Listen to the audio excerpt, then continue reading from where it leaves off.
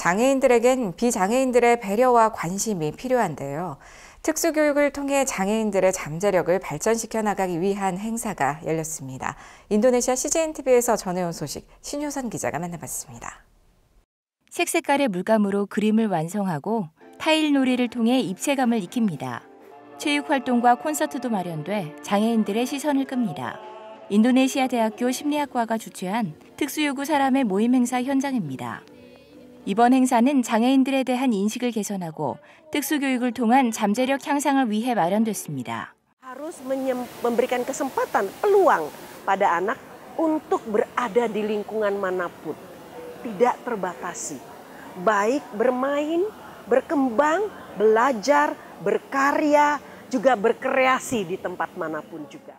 행사에서 장애인들은 실효 활동하며 적응하기, 움직이기, 자신 표현하기 등을 배우며 자신감을 얻을 수 있는 코너들이 마련됐습니다.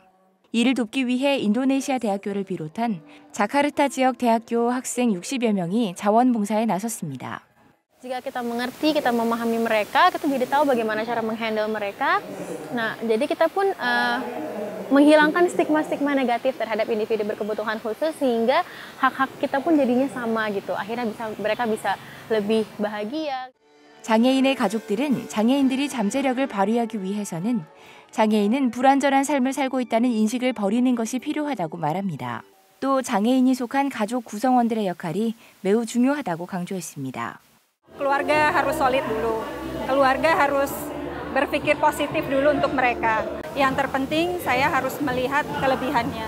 Saya nggak mau fokus di kekurangannya. Jadi di kelebihan dia itulah yang saya push maksimal yang saya bisa. Karena keluarga itu mendukung saya dari kecil sampai dewasa.